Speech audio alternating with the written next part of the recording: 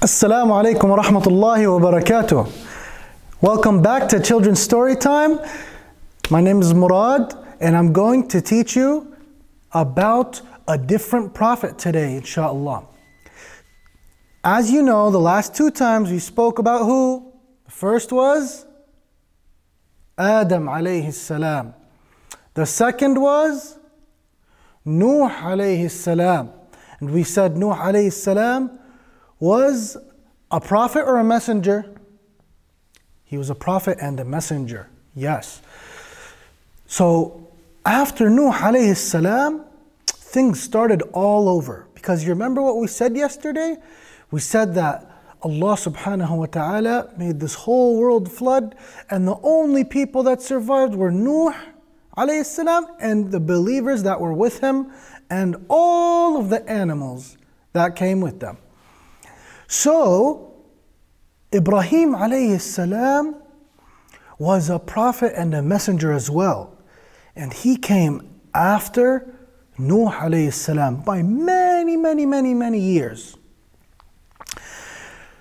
So, Ibrahim alayhi salam was born to a father that was not a believer.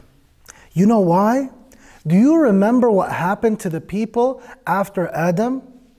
Yes, they kept worshiping Allah and then eventually they built statues for the righteous people there. Then they eventually started making dua and asking the statues to help them. And then they started making sujood and worshiping these statues, these idols of theirs, right?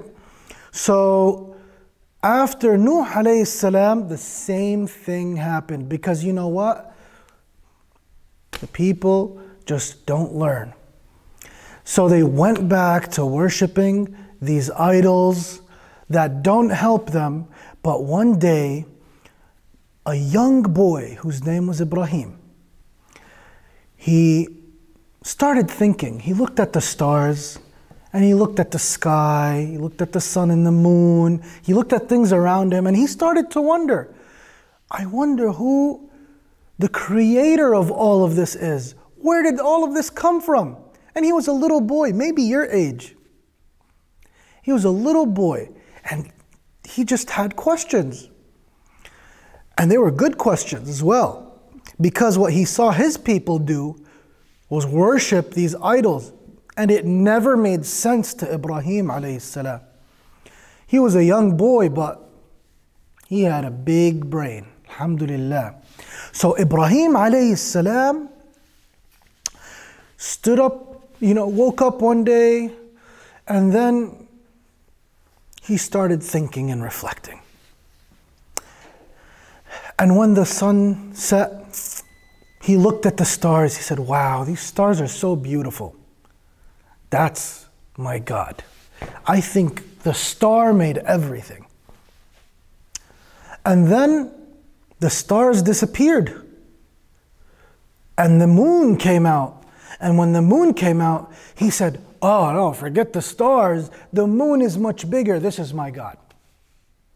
And then he waited until dawn, and when the sun came out, he's like, Wow, that's my God. That's much bigger. And then when the sun set, he said, You know what? None of these things can be God. Only God can be God. Allah subhanahu wa ta'ala, He created everything around us. We cannot see Him, but He can see us. And He tells us what to do and how to do it because He made us. And He knows us better than we know ourselves. So, when He came to this conclusion, He said, Hey, I have to teach my people a lesson.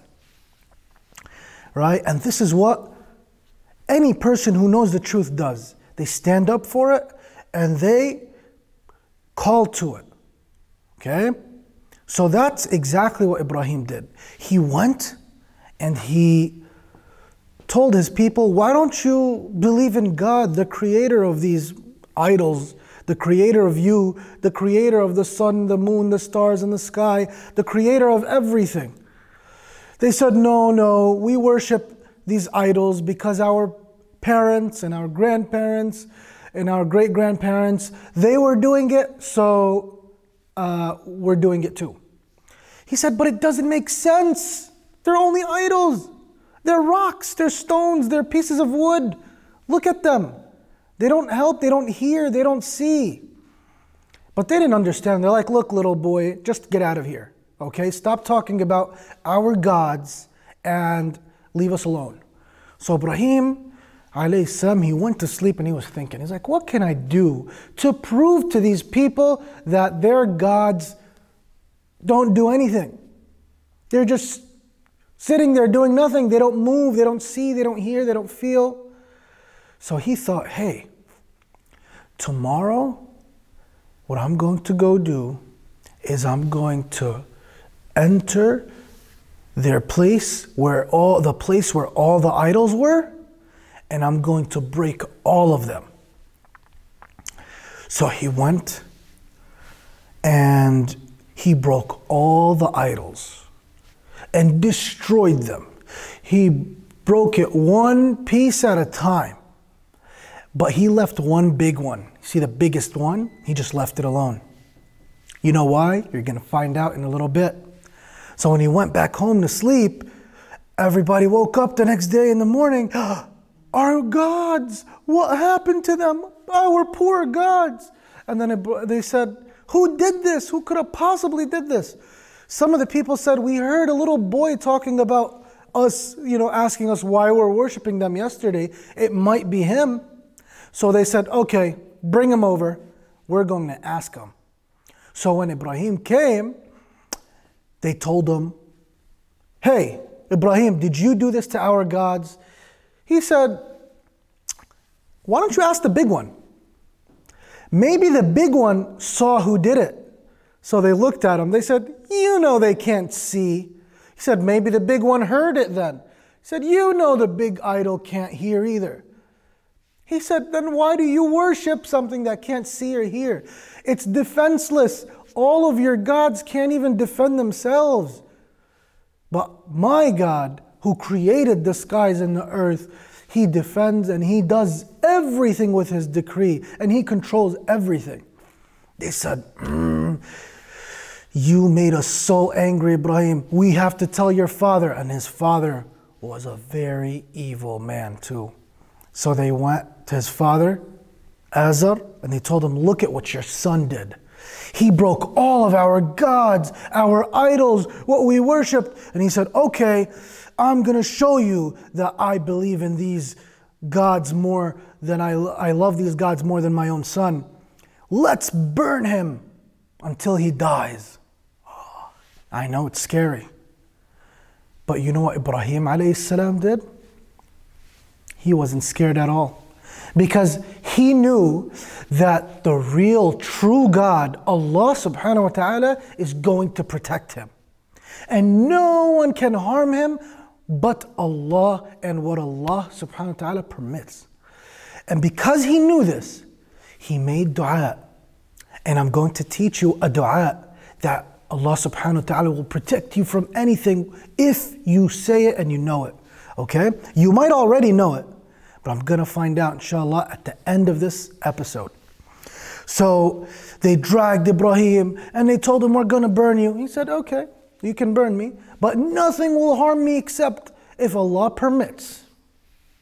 And he wasn't scared at all. You know why? Because he was with the truth. He was with Allah subhanahu wa ta'ala. So as they dragged him, they built this big, huge fire. They say, not a single bird can fly over this fire from how much smoke is coming out of it.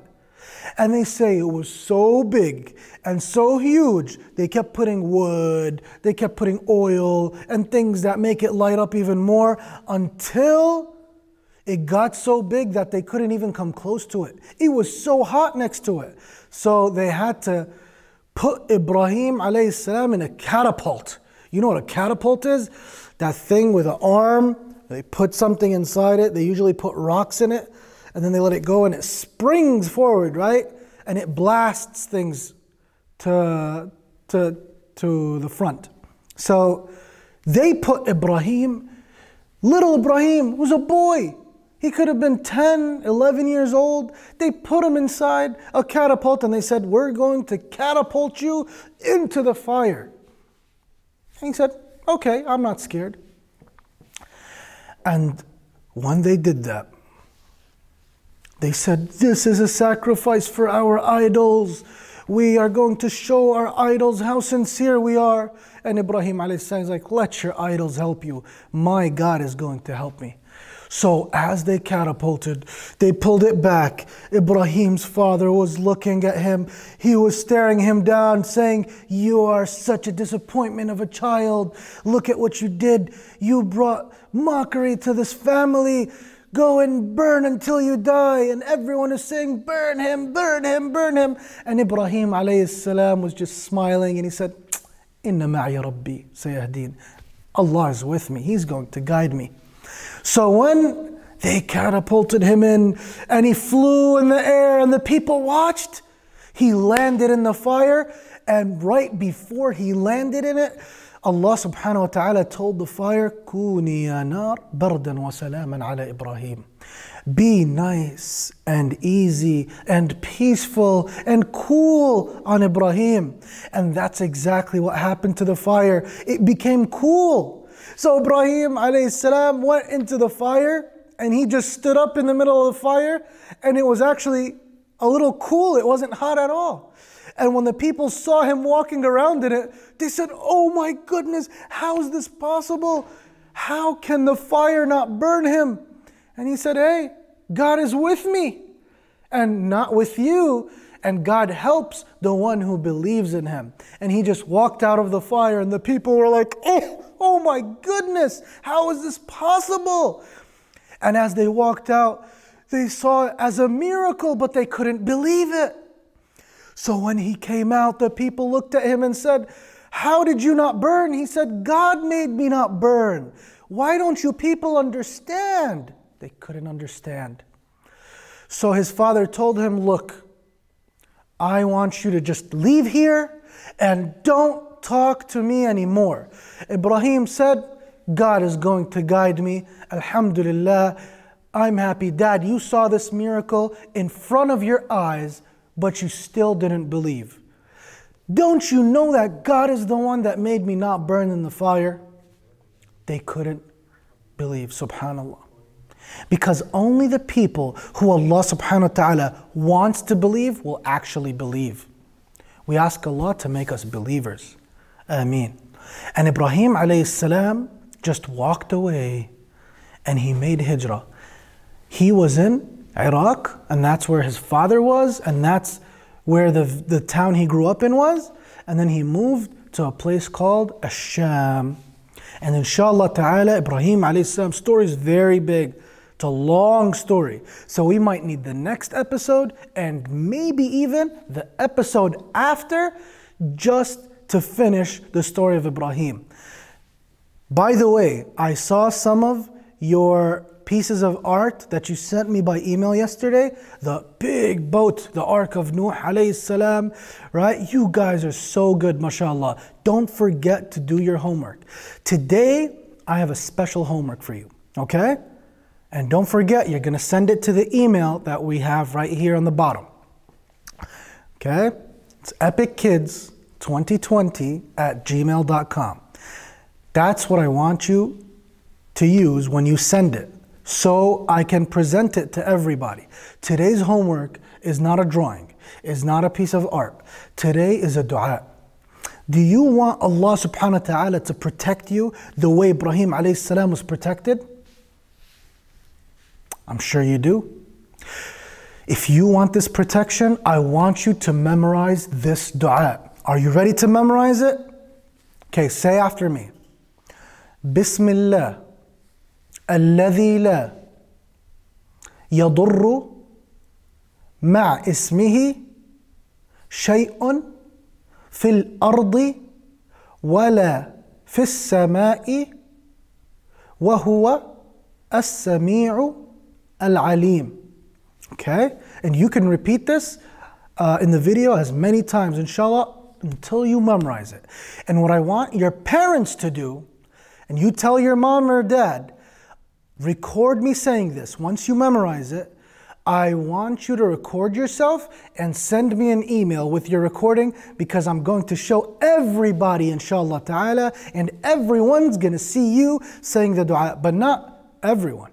Only if you did the best. So make sure you memorize it good and your video is nice because I'm gonna choose the best one and play it in the next episode, inshallah ta'ala. Jazakum Allah khair. Assalamu alaikum.